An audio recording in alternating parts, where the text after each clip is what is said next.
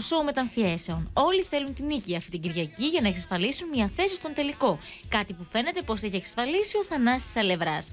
Μη τελικός, ήρθε η ώρα να κλείσει σιγά σιγά ένας κύκλος πολύ ωραίος. Ε, αν δεν γίνει καμιά φοβερή ανατροπή, δεν ξέρω, ε, μάλλον θα είμαι στον τελικό. Μπήκε δυναμικά στο παιχνίδι, κερδίζοντα συνεχόμενες φορές και έτσι τώρα μπορεί να είναι πιο χαλαρός. Αυτό βοήθησε στο να υπάρχει μια ας πούμε, υψηλή βαθμολογία. Όταν παίζεις, πάντα έχεις στο μυαλό σου ότι παίζεις για να, για να κερδίσεις. Ε, όχι για να κερδίσεις, παίζεις για να παίξεις αρχικά, γιατί θες να παίξεις.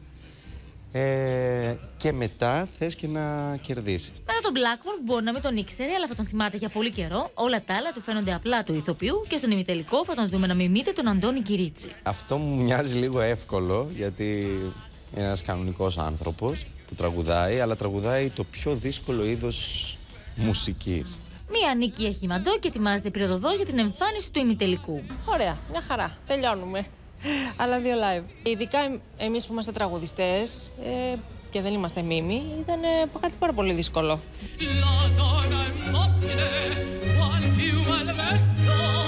Μπορείς να θεωρήσεις ότι επειδή έχω πάρα πολλά χρόνια στο χώρο, ίσως να ήταν ε, επίφοβο ή ρίσκο, αλλά δεν το βλέπω καθόλου έτσι εγώ. Ε, κάθε τι καινούριο με συναρπάζει. Δέκα είναι οι διαγωνιζόμενοι και τέσσερις μόνο οι θέσεις του τελικού.